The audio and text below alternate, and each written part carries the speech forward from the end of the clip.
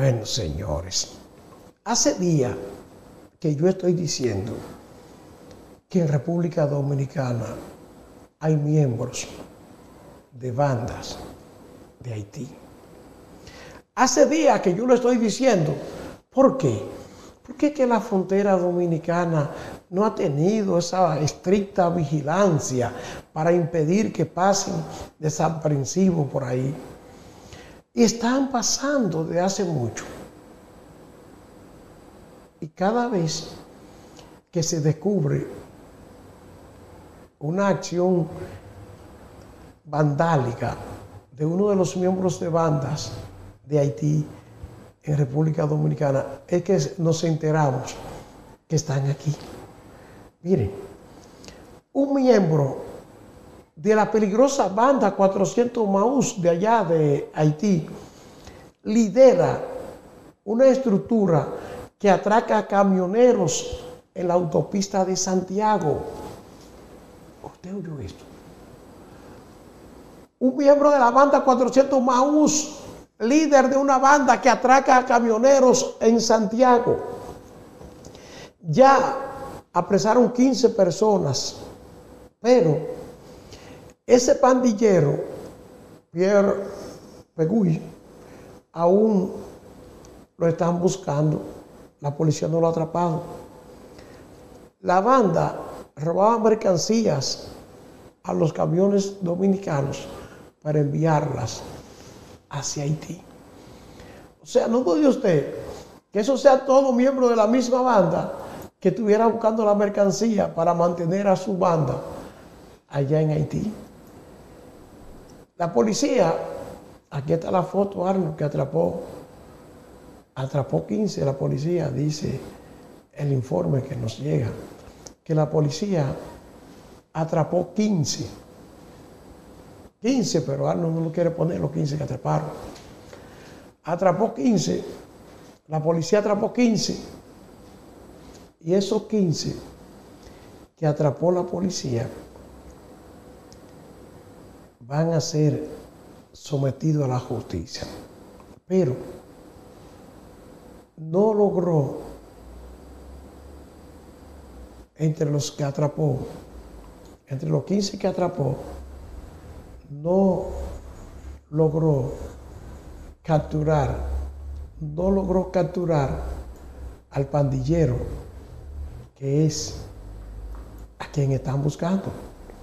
No logró atrapar a ese pandillero. Y ahora estamos en la misma. No atraparon al pandillero y entonces, ¿qué vamos a hacer si no se consigue ese pandillero? Porque ese pandillero cuando viene a ver, sigue atracando a República Dominicana. Y hemos hablado mucho de esta situación. Hemos hablado mucho de esta situación que se está dando, que se está dando en el país con esto pandillero. La policía informó que un reconocido delincuente de Haití lidera una banda que alegadamente se dedica a atracar a camioneros en la autopista Joaquín Balaguer, que conecta a Santiago de los Caballeros con Navarrete y otras localidades. Se trata de Pierre Pegui, conocido como Honey, quien es miembro de la banda criminal haitiana Los 400 Maus.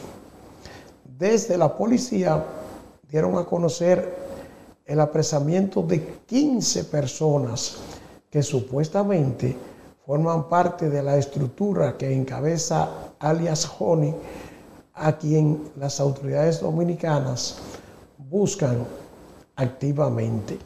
El informe de la policía indica que los detenidos 14 hombres y una mujer utilizaban ropa del organismo para despojar las víctimas de mercancías que luego llevan hacia Haití. Usted oye, le quitaban, le quitaban ropa, o sea, le quitaban mercancía a dominicanos utilizando ropa de policía, los integrantes de esa banda. Entre los apresados figura la dominico-haitiana Glenis Gómez Santana, esposo del presunto cabecilla de la banda. La supuesta estructura fue desmantelada durante intervenciones simultáneas en Santiago y en el municipio de Villa Altagracia. ¿Usted escuchó bien? La estructura fue desmantelada durante intervenciones simultáneas en Santiago y en Villa Altagracia. Durante los operativos, las autoridades recuperaron un camión que figura como robado, tres paneles solares, múltiples pares de zapatos y calizos de diferentes tipos y colores, una tablet y sacos de varios productos alimenticios, arroz, aceite, huevo, espagueti, entre otros. La mercancía que había sido presuntamente sustraída por los detenidos está en poder del Ministerio Público para los fines de ley correspondiente. La policía indicó que continuará la búsqueda de Pierre Pegui, a quien le hace un llamado para que se entregue por la vía que él considere pertinente. Ay.